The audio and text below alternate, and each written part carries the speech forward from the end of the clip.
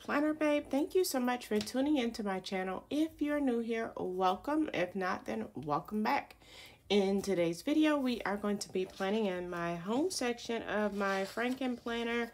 We're going to plan for the week of October 10th through the 16th. I'm trying to go with some October um, breast cancer awareness spreads for each of my planners for this week um, just before I kind of try to get a little bit into the Halloween spirit. Um, but yep, so I, I am pulling in some pinks uh, florals in which I kind of looked through the pressed floral. So I picked out all of my pressed florals sticker books. And then I'm going to try to bring in like some black functional items from these two black sticker books, which in this one is the florals and this one is the fancy blooms. So they both have like some black functional items. So I figured I would bring these in um, for this spread for this week. So you guys know on my channel, I love to plan with my pages off the disc. So we're going to take them off and we're going to get right into it.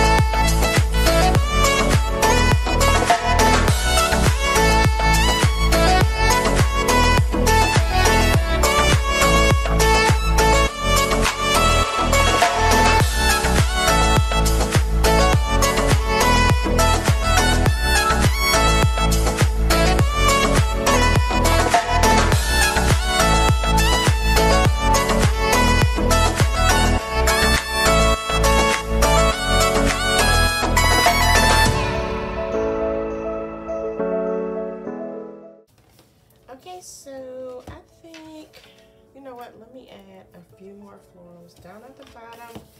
And then I think that is going to be it because I don't want to put way too many things on the spread. And, well, I mean, I don't have a lot going on this week, though. Um, but I don't want to fill it up with way too many florals. I mean, like, I don't even know if that's such a thing, but we won't put too many too many florals on the spread. So let's just go ahead and y'all know I like to trim around my florals to give it that layered look. So I'm just gonna trim that little piece off of there and I don't want it to go over this bottom part of the layout. So gonna trim this white part off, which is not a whole lot, but it makes a difference when you can't see that bottom black line of the layout. I don't know, it's just me. I'm not sure if I'm the only one, but yeah, I think this is good. This is super cute. I don't really like the way that came out there, but we're gonna leave it there because I don't want to mess it up. So this is it. Hopefully you guys have enjoyed this video. I was like taking a little break, so hopefully you guys have missed me and I'm back.